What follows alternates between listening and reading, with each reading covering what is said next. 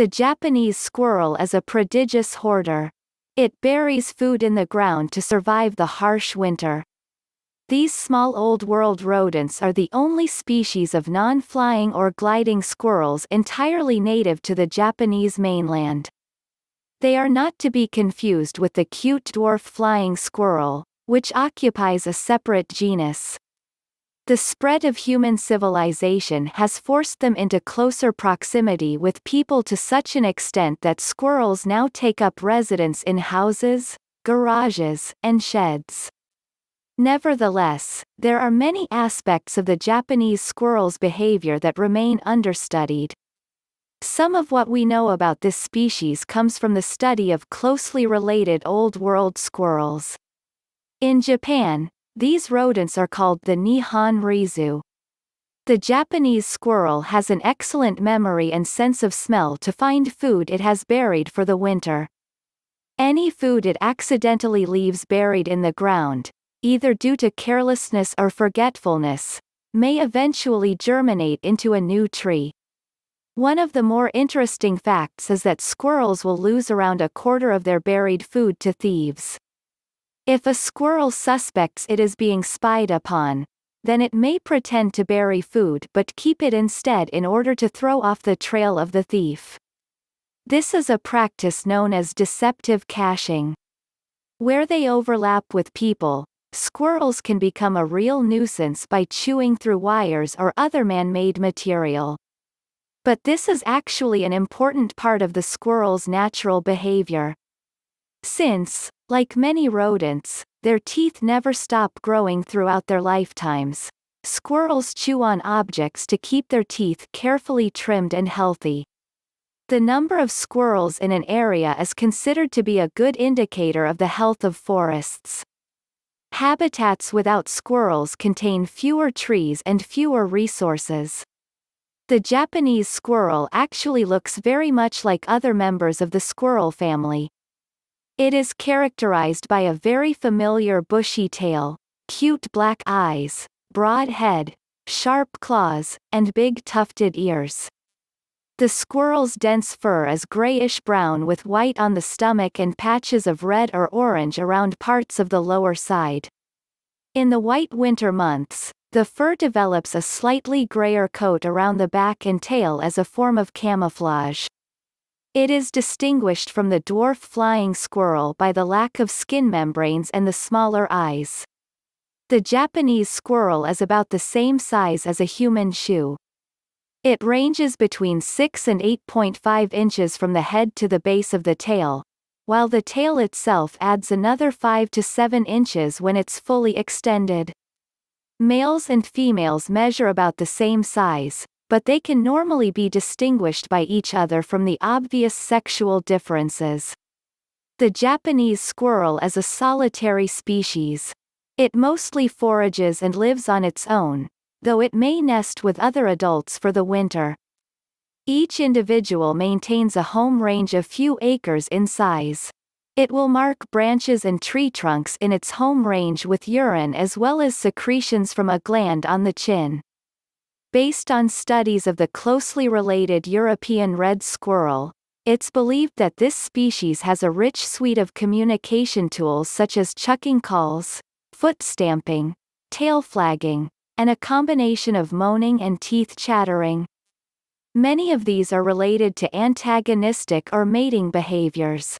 Despite their solitary nature, however, Japanese squirrels appear to have distinctive hierarchies based on size and aggressiveness, which plays a role in the mating season. The iconic foraging behavior for which the squirrel is known begins with the onset of the fall season.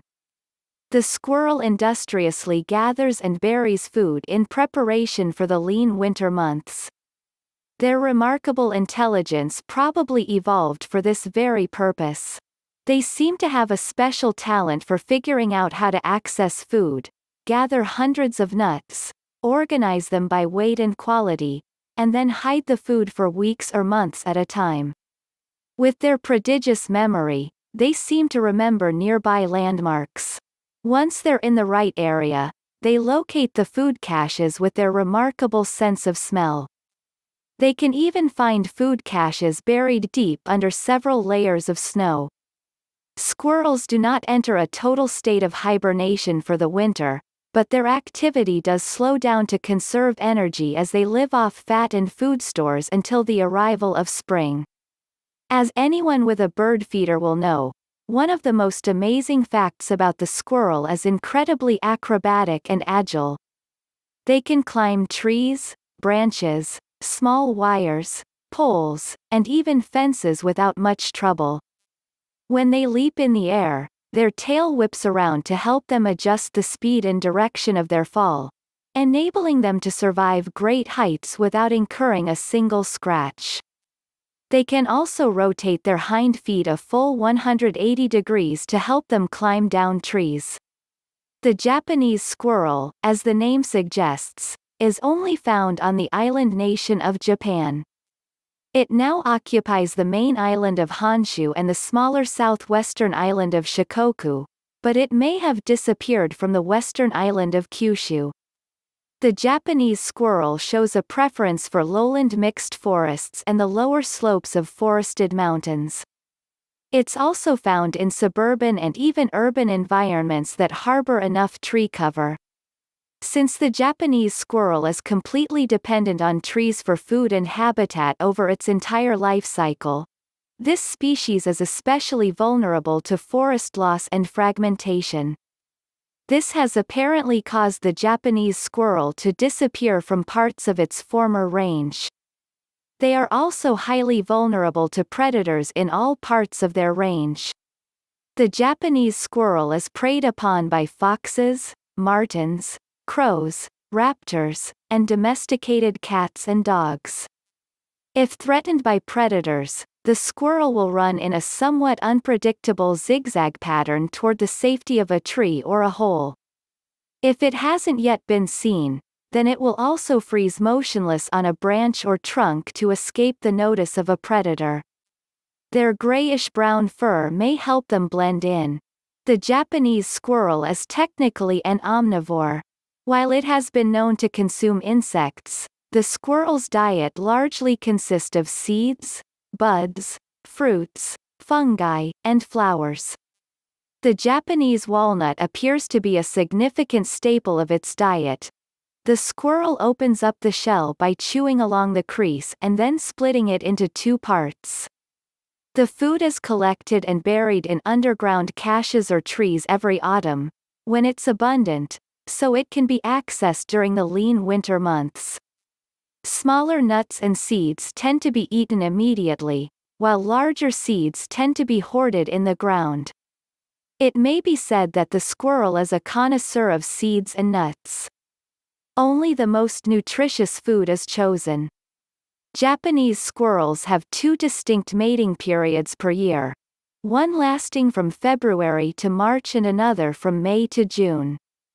When the female is sexually available, several males will chase after her in an attempt to secure mating rights. The sexual behavior is polygynous, meaning that a single male will have multiple female partners. The largest and most dominant male will usually secure the most mates for himself. Smaller and weaker males may lose out on the opportunity to spread their line. For female squirrels, body size and social rank signify fertility. They tend to draw the most attention from males. After a 40-day gestation period, the female squirrel will produce a small litter of two to six kits at once. These kits are born mostly blind and helpless, measuring only about an inch in size. They are raised in leaf nests, dens, or burrows specially constructed by the female. For the first two months of their lives, they will feed on their mother's milk, after which time they will begin to forage on their own. By the following spring, the squirrels are sexually mature and reading to start reproducing. The rate of survival for the kits seems to be based on the body size of the mother. If the mother loses too much weight during lactation, then the kits are much less likely to survive the first few months after birth. The average lifespan of the Japanese squirrel hasn't yet been estimated, but given the numerous threats they face in the wild, it's probably quite low.